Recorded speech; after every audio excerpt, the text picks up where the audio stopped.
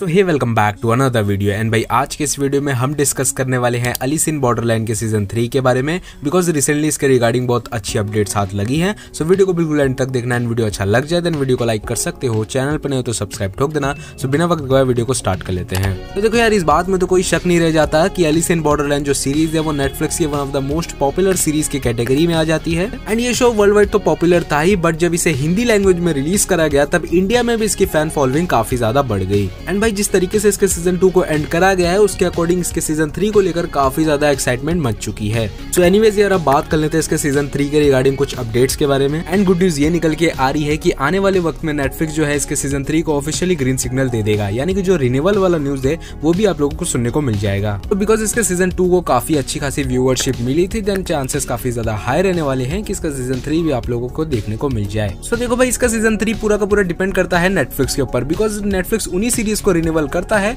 जो आने वाले वक्त में उसके लिए प्रॉफिटेबल हो सके। तो अगर नेटफ्लिक्स इसके सीज़न थ्री को ऑफिशियली ग्रीन सिग्नल दे देता है देन आप लोग ये अज्यूम कर सकते हो कि इसका सीज़न थ्री आप लोगों को 2024 के लास्ट क्वार्टर में देखने को मिल जाएगा। एंड इसके रिलीज़ डेट की हाईली पॉसिबिलिटी दिसंबर के मंथ तक होने वाली है। तो इन नियर फ्यूचर अगर इसके रिगार्डिंग मुझे कुछ और अपडेट मिलेगी देन मैं आपको फ्यूचर में ज़रूर से इन्फॉर्म करता रहूँगा। तो दोस्त भाई, अगर आप लोगों को कोई भी थॉट्स एंड क्वेरीज है, हमारे कमेंट बॉक्स में आप बिंदास शेयर कर सकते हो। तो बस यार, आज के लिए इतना वीडियो जरा से भी पसंद आई हो तो वीडियो को लाइक कर सकते हो। चैनल पर नहीं हो तो सब्सक्राइब ठोक देना। मिलेंगे अगले वीडियो में तब तक के लिए till then stay blessed bye जय श्री राम.